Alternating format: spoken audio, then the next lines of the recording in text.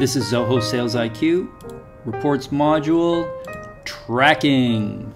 Consolidated visitor tracking reports can be viewed, emailed, and saved. First report of the three different reports here is called the tracking summary. On the left, we've got the count, which is the count or the number of visitors to your website. On the x-axis, we have the hours of the day. So visits, this is showing how many visitors and during what hour of day they're coming to your site. First metric. Second metric, contacted. Contacted is the reaching out, the proactive chat your attendant sees someone is on site and reaches out and says, Hi there, may I help you? Very crucial metrics indeed. And then finally, responded to that reaching out. And that's what you call a conversion, okay? So this is where the whole of the World Wide Web comes right down to somebody's on your website, you reach out and you say hello, and when they respond back, you have converted them.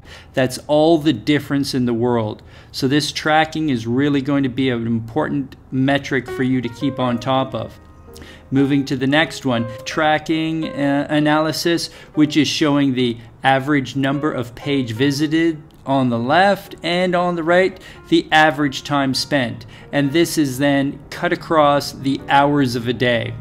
So we can see that page visits kind of spikes in the uh, morning hours of the day, but the average time on a site, well, look at that near the end of the day that seems to spike there.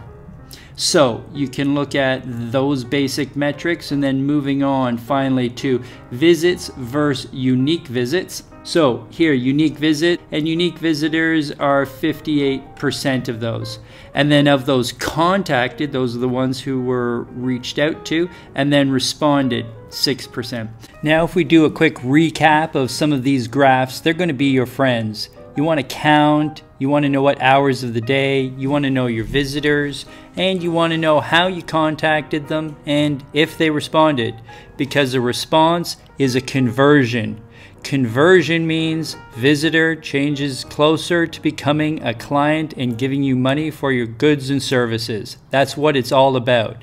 So you want to track, look at your pages, the time that they're spending, and use this knowledge towards your advantage. It's a new online world. Take advantage of your SalesIQ.